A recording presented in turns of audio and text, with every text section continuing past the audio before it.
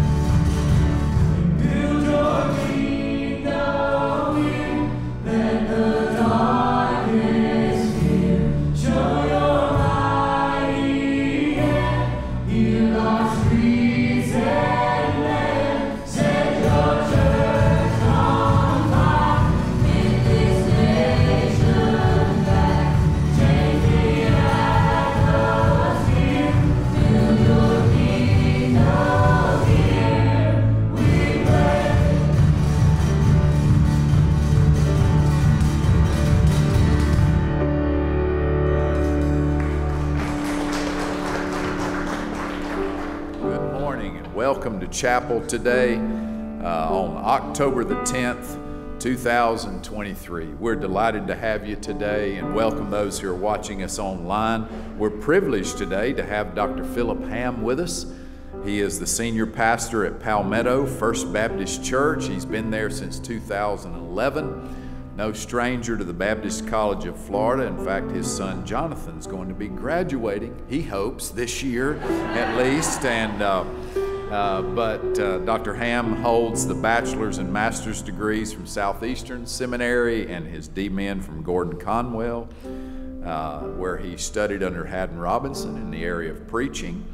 He is married to his high school sweetheart wife, Christy, and they've been married uh, uh, several years now, amen, since 1996. They have three kids, and uh, he published a book entitled Stop agreeing with Jesus and start obeying Him in 2022. And we're just delighted that you're here, Phillip, one of the great preachers in our state and one of the wonderful pastors we're privileged to have come and visit our campus and preach for us. We uh, have a night of worship coming up Thursday night at 7 o'clock. Our preview day is Friday, amen.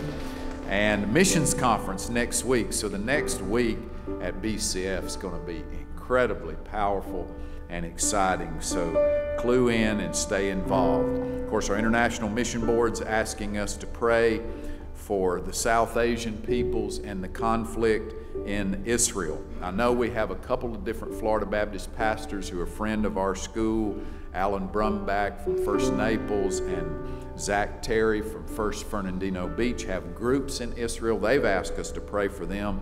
I understand they both have seats and opportunities to get out now, and so uh, we're praying for their safe return and just praying for uh, Jerusalem. Would you pray with me today? Father, we worship you. We love you. We are in awe of you. Thank you that you would send your Son to shed his blood for our souls so we could be saved. We pray you'd manifest your presence in this chapel today, that you'd touch our hearts and inspire us, challenge us, that you'd bless and anoint Dr. Hamm as he preaches the word to us. May this worship be pleasing in your sight. In Jesus' name we pray. Amen.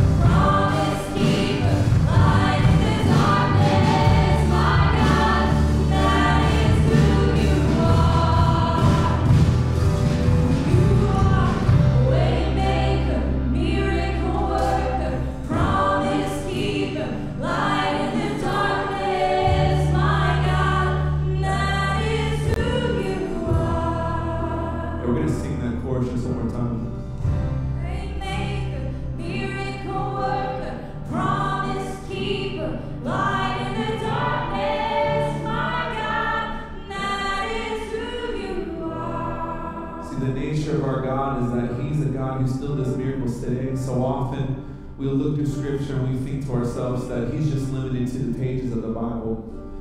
Can I just encourage you, students, that the same God who rose Christ from the dead is the same God that's living inside of you right now.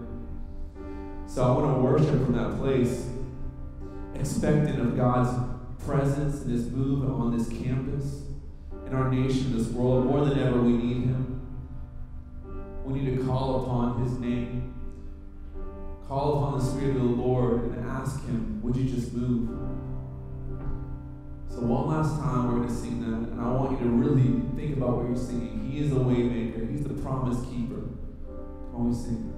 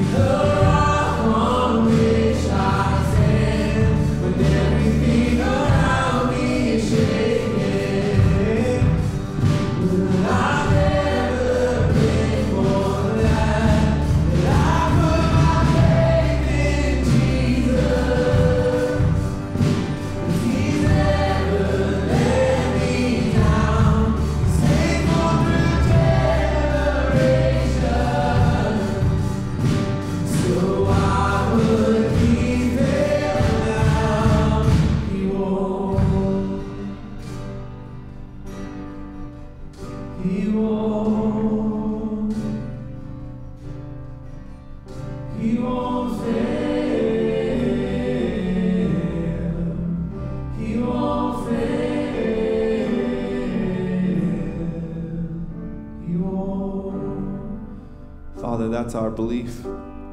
Lord, that you're the God who never fails, Lord. Lord, we trust in your steadfastness, your unwavering in all your ways, Lord. You are so faithful. We're so, so incredibly grateful, Lord, for all that you are and what you do for us, Lord. Lord, we just love you. We extol you. We honor you and glorify you in everything, Lord. To you be the glory and the honor forever. We love you and pray these things in your Son's name. Amen. Amen. Have a seat.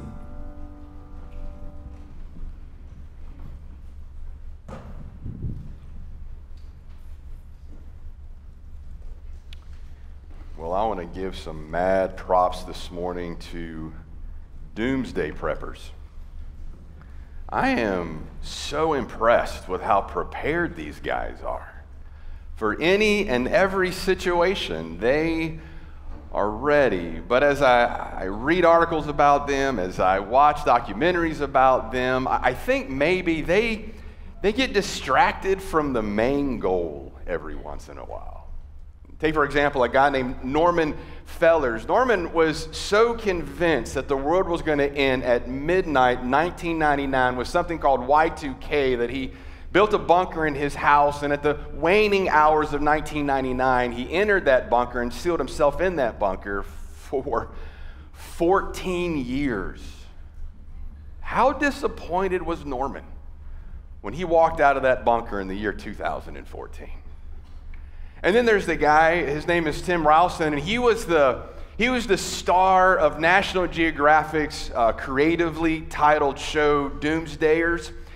He uh, was out shooting his guns, getting ready for the, the final event of the world, and somehow managed to shoot his thumb off.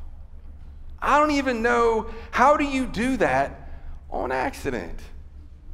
And then down from my part of the country, down in, in Tampa, there was the Otter River Boys. And, and, those guys, man, they were so convinced of their biblical view of eschatology. They were so convinced of their biblical understanding of how the end was going to come that they hoarded all the guns and all the ammunition, and all the bomb making materials that they could get their hands on.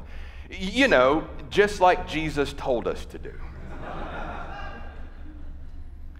I think sometimes as we start considering the end of the age, the end of time, the second coming of Jesus, I think sometimes we get a little distracted from what Jesus wanted us to pay attention to.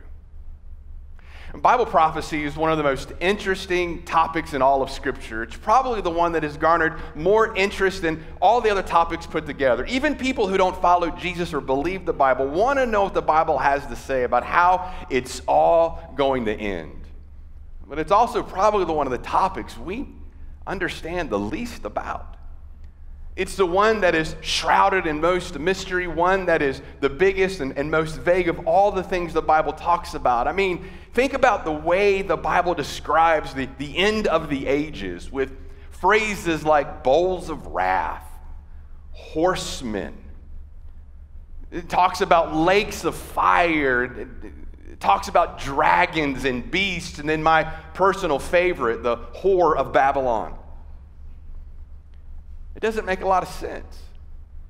It's symbolic, it's allegorical. And, and as I read these things, I, I look at them and I think, God, you can be clearer than this if you wanted to. In fact, Lord, when you wanted us to know some things, and you were very able to make them clear. Just for example, when God wanted us to know that we weren't supposed to commit adultery. He said pretty clearly, don't commit adultery. When, when God said, I don't want you to murder people, he, he said pretty clearly, I, I don't think you should murder people. There was no vagueness, there was no mystery, there was no smoke, there was no allegory, there was no symbolism. It was just clear, straight talk, as I read the Bible, it's almost like he doesn't want us to know all the details about how it's going to end. But that doesn't stop us, does it? No, we sign up in droves for the Bible Prophecy Conference. We read and read books about how the end times are going to unfold. We have our charts and our theories and all the years lined up, and man, are we convicted that we know how it's going to end because by golly, it is going to be a post tribulation rapture, or or is it a pre tribulation rapture? Or is, he, is it a mid tribulation rapture? I can't remember which one it is that we're so convinced of when he's going to return and how it's all going to end. But man, we are convinced that we know. We may even be more convinced and confident than Jesus was when he was on the earth. You know, the interesting thing about Bible prophecy and studying eschatology in the end times is that we can dive deeply into these topics and we can spend hours upon hours and read books upon books and attend seminars and we can really get into studying what the Bible says about these things while at the same time ignoring some of the clear teachings that Jesus talked about, like loving your neighbor forgiving your enemies, and sharing the gospel with a world that has no hope. You see, when Jesus talked about end times, when he talked about the second coming, when he talked about eschatology, when, when he described these things, he had one main concept. He wanted us to know, and he wanted us to be ready. What we're going to do is we're going to ask Jesus a question this morning from the passage, and we're going to ask the question the disciples asked. It's the age old question Jesus, how do you want us to be ready? Would you take your Bibles and join me in Matthew chapter 24? We're going to look at a few verses in Matthew chapter 24, starting in verse number 3. Just to give you a little understanding of the storyline of what's happening since we're jumping into the middle of this book, or actually we're getting to the very end of this book, Jesus is chronologically about two days away from being crucified. With that in mind, he's about five days away from the resurrection. I mean, Jesus is at this point where, in my imagination, I see him flipping through his notes because he knows his time is limited, and he's wondering, what have I left to discuss with the disciples? What do they need to know before I'm out of here in 48 hours? And I think he gets to this topic about the end of the age. As we get into chapter 24, the first two verses describe for us that as the disciples are walking away with Jesus from the temple, it's almost as like they want to make conversation with him, but they don't have any really good things to talk to him about. So somebody reaches out and they say, uh, uh, Jesus, uh, aren't these pretty buildings? Jesus not having time for frivolous talk at this point in his life, knowing his time is limited, he says, Yeah, they're pretty, but they're going to come down. Which leads to verse number three of chapter 24. The disciples ask him the same question we're asking him. And it says in chapter 24 of the book of Matthew, verse number three, as he sat on the Mount of Olives, the disciples came to him privately saying, Tell us, when will these things be? And what will be the sign of your coming of the end of the age? Just make a mental note of the last few words of the disciples' question. They're referring to the end of the age. We'll come back to that in just a few minutes. But notice that Jesus is being asked the same question you and I are asking. They're saying, Jesus, what do we have to prepare for? Jesus, what do we need to look out for? Jesus, what do we need to know in order to be ready? And I love the first thing Jesus tells them. He says to them in verse number four, See that no one leads you astray. For many will come in my name saying, I am the Christ, and they will lead you astray. It's almost like Jesus is saying to them, Gentlemen, listen up. I want to make sure you're not distracted. I want to make sure you're not distracted from the main thing. I want to make sure you don't miss what it is that I'm telling you. I, I, I don't want you to go out and, and buy all the guns you can buy. I don't want you to go out and stockpile all the munitions. I definitely don't want you to hoard all the bomb making materials. The Otter River boys, they're going to need some. I want to make sure you got everything that you need to have, and what you need to have is not all these preparatory things to survive. I want to make sure you're not led astray. Forget the charts, Jesus is saying. Forget the pre's and the posts and the mids and the out. Permit, forget all of those things. This is what I want. I don't want you led astray. There's one thing I want you to focus on. Now, before he gets to that, he eliminates all the other stuff he doesn't want us to care about. He eliminates all the other things he doesn't want us to be distracted by. And so we start in verse number five. Verse number six, rather. And I, if you would, if, if, you're comfortable doing so, underline a few things as we go through. I'll tell you what to underline, but uh, I think they're important, or maybe highlight in your tablet some of these things. He says in verse number six, and you will hear of wars and rumors of wars. See that you're not alarmed, for this must take place, but the end is not yet. In my Bible, I've highlighted wars and rumors of wars. Verse 7 For nation will rise against nation, and kingdom against kingdom, and there will be famines and earthquakes in various places. In my Bible, I've underlined famines and earthquakes. Verse 8 And all these are but the beginning of birth pains. Verse 9, but then they will deliver you up to tribulation and put you to death, and will be hated by all the nations for my name's sake. I, in my Bible, have underlined tribulation and put to death. You know, something to look forward to. Verse 2 And then many will fall away and betray one another and hate one another, and many false prophets will arise and lead you astray. Underline false prophets, would you? And because of lawlessness will be increased and the love of many will go cold, but the one who endures to the end will be saved. I underlined in my Bible the words lawlessness and increased. And then verse number 14, and this gospel of the kingdom will be proclaimed throughout the whole world as a testimony to all the nations, and then the end will come. I underlined in my Bible in verse number 14, gospel to the nations. Now, here's what's interesting about these underlined words, and I wanted you to do this because I wanted your eyes to be able to focus on this. Of these, whatever five or six different things we underline, most of them, I think, are distractions of which we have no control over. I mean, just kind of look back down at the passage and look at the things you underline. You and I have no control over wars and rumors of wars. We have no control over famines or tribulations. We have no control over what prophet, false prophets say or don't say. We have no control over lawlessness and how it's being increased. There's nothing you and I can do to control these things. And yet, as good Americans, we do our best to control them. I read a stat recently that said that one third of United States citizens have spent over $11 billion in doomsday prepping material. Why? Because we want to be as prepared as we can for the famine that's coming. We want to be as prepared as we can for the lawlessness that's coming. We want to be prepared. But what I think Jesus is saying is to answer that question about how to be ready and how to be prepared, I think he is removing all these concepts from the table and saying, no, that's not how you're prepared. That's not how you're ready. There's one thing I want you to care about. There's one thing I want you to focus on. There's one thing that you can invest your lives into to be ready for when I return. And that is verse 14. He goes through all the things he doesn't want us to worry about, all the things he doesn't want us to care about. In verse 14, he says, Here's where I want your heart to be. And this gospel of the kingdom will be proclaimed throughout the whole world as a testimony to all the nations. And then the end will come. Verse 14 is where we find the answer to the, to the, question the disciples are asking. Verse 14 is where we find the answer to the question we're asking. And I'll remind you that question is Jesus, what do you want us to do to be ready? What do you want us to be about doing to be prepared for your coming? You, you don't want us hoarding froze, frozen dried chip beef in our basement. You, you, don't, you don't want us digging bunkers. What is it that you want us to do, Lord? He says, I want you to care about the eternity of others.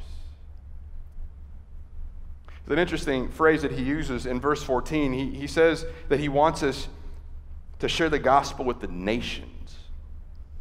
The word for nations is, the word ethnos, and it's always intimidating to try to do Greek in front of Greek professors, but I'm going to do my best. The word for ethnos is, is not a word that is describing geopolitical boundaries. It's a word that is describing individual people groups, missiologists will tell us. People groups that have their own language, people groups that have their own cultures. Not necessarily nations that have boundaries and borders.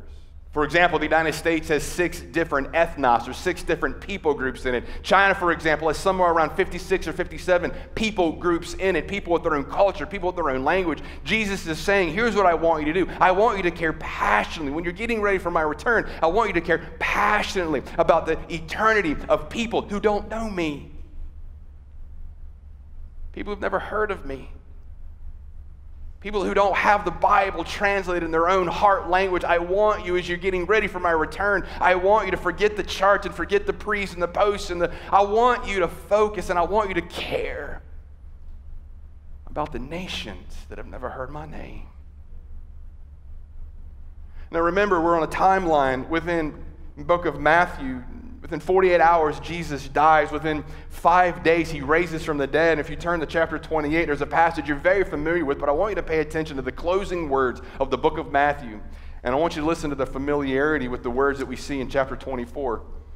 Chapter 28, 19 and 20, the last thing Jesus says he wants us to be up to as we get ready for his return is to go, therefore, and make disciples of all nations, baptizing them in the name of the Father and the Son and the Holy Spirit, teaching them to observe all that I have commanded you. And listen to this last part. And behold, I am with you always. And what are the last words? To the end of the age. Let me go back to chapter 24. Do you remember the question? I told you to pay attention to it when the disciples asked it in chapter 24, verse number 3. They said, Tell us when will these things be, and what will be the sign of your coming and of the what? The end of the age. Jesus is saying, I want you to be ready and to be ready for my return is to do one thing. I want you to care about the eternity of others. I want you to care about the eternity of people who don't know me. I want you to care about the eternity of those who don't and have never heard my name. Right now, to the best of my understanding, there are about 7,000 different people groups around the world who do not have the scriptures translated into their heart language. 7,000 people groups in the world who have never heard who Jesus is. 7,000 people groups in the world who don't have a missionary or a church planted there to tell them of the love of Christ. 7,000 people. And we're distracted with our pre's and our posts and our ahs and our mids, and we're distracted with politics we're distracted with, if we go through this list, wars and rumors of wars, famines and earthquakes, lawlessness in the streets of our big cities. We're distracted with all these different things, and Jesus says, wait, wait, wait, wait, don't be distracted. There's one thing I want you to care about as you prepare for my return, and that I want you to care for the eternity of others. Jesus was so passionate about this that he goes on through chapter 24 and he explains in different parables and different allegories and different images, just trying to get his disciples and getting us in retrospect to see that of all the things going on to get ready for, he says, I want you to do this to get ready for me to come back. I want you to passionately care about the eternity of others. And if you go to chapter 24, verse 42, he wraps up this thought before he tells several par- more parables about it. In chapter 24, verse 42, he says, Therefore, when we see the word therefore in scriptures, we know that it's the equal mark at the end of teachings. We know that it's the, the summation of what has just been taught. Jesus is saying, after everything I've just said, let me, let me just say it to you one more time in a, in, in a quick review. Therefore, he says, stay awake. For you do not know what day your Lord is coming, but know this that if the master of the house had known in what part of the night the thief was coming, he would have stayed awake and he would not have let this house be broken into. Therefore, you also must be, there it is, ready. The Son of Man is coming at an hour you do not expect. Verse 45 Who then is faithful and a wise servant whom his master has set over his household? That phrase set over means trusted over. Jesus left us and trusted over the household of the world. Our responsibility to share the gospel. And he says in verse 46, wrapping up his thought, Blessed is that servant whom his master will find so doing when he comes. Jesus, how do we get ready for your return? Do we study more charts? Do we dig in and try to see what does the invasion of Israel by Hamas mean or by Hezbollah? Do, do, do, we dig into what's going on in Ukraine? Jesus, how do we get ready for your return? Do I need my bunker to be a little bit more watertight here in Florida? Lord, how do I get ready for your return? Do we need more freeze-dried mashed potatoes? Lord, how do I get ready for your return? He says, I want you to care about the eternity of others. My wife Christy and I had the opportunity this summer to spend some time in North Africa with a, a friend of ours who's a professor of missions at another institution. He's been working with an unreached people group for over 25 years, a, a group that I'm not even allowed to say out loud for fear of people getting hurt who currently work with them. As we're working with this people group in this particular country, he tells us a story one night about an event that happened many years ago when he first started working with these folks. He said he was way out in the middle of nowhere, and he, his group had come across a sheik, and the sheik befriended him, and the sheik was wealthy according to that nation's definition of wealth. And he had many goats and many many camels and many horses. And, and then our friend describes sitting at his, his, his table eating you know, sheep eyeballs and just all the weird stuff that you imagine happening on the mission field. Our friend did the best he could to share love of Christ with this obviously entrenched Muslim believer, and they just hit up a great friendship and had a kindred heart. A few days later, he was, our friend was getting ready to leave for the airport, and as he was going to leave, he had, he had packed a, a Bible in his book bag that had currently been written and been translated into this man's personal dialect. This man was one of the ethnos. He was one of the people groups that had been unreached. And as he was standing there with all of the armed gunmen the sheik had around him, my friend takes the Bible out and hands it to his new Muslim friend, the sheik. And he says, as he so beautifully could, the gospel about this is the book of truth. This is God's love for a world he created, and this is how God came himself as the Messiah to fix it. The sheik took the Bible and hugged my friend and then told of a story how 10 years earlier he had had a dream of a man from another nation come and bringing him the book of truth. And then, as my friend told us this story, his his eyes swelled up with tears. And he said, Phillip, do you know what the man, the sheik, said to me next? He looked me dead in the eyes and he said, It's been 10 years. What took you so long? You see, when Jesus left us, he left us with clear instructions. There's no allegory. There's no symbolism. We need no charts. We need no diagrams. We, we need no conferences. He simply said, I want you to care about the eternity of others. Jesus, how do we prepare for your coming? Whether it's tonight or in 10,000 years, Jesus said, care for souls and their eternal destination the way that I care for souls and their eternal destination. So, what do we do with this? I believe with all my heart that there are some of you who are wrestling with a call to missions. And that's the last thing that you want to do. Your parents aren't going to be happy about it. The girl you think you're going to marry, she doesn't want to go live in the dark recesses of the world among tribes and peoples and strange customs and eat the eyeballs of sheep. She doesn't want to do that. So you might lose her. And you have a dream for a career. You have a dream of a family and a nice house and a comfortable retirement, and you are wrestling with God over a call to missions. I just want to encourage you surrender to that call